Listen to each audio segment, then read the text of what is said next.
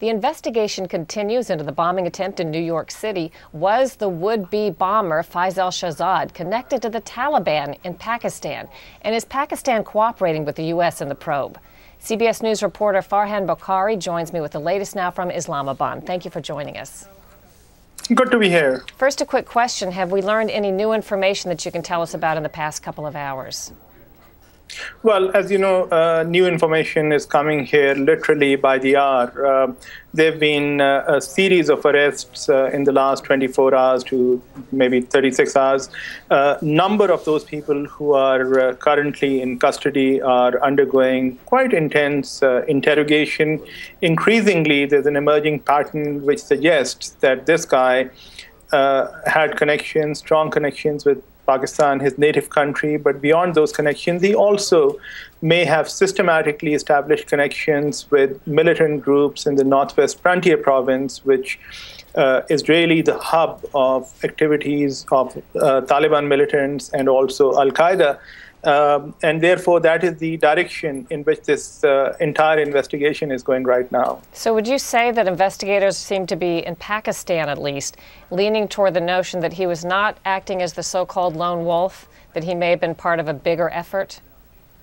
Well, absolutely, because if you look at the kinds of people who've been uh, uh, detained in the last 24 hours, arrested in the last 24 hours, uh, this goes on to suggest many of those people uh, do have well-established links with uh, with militant groups, and this goes on to suggest that um, uh, perhaps uh, some of those groups might be connected to Faisal Shahzad. At least that's uh, uh, the matter under investigation right now.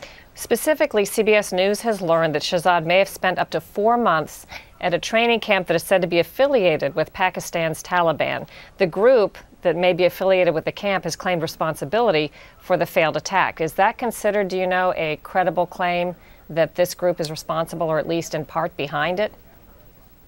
Well, the authorities here are still saying that the Taliban have no uh, known capacity to strike um, in foreign countries, distant countries, countries thousands of miles away. That is more the forte of Al Qaeda.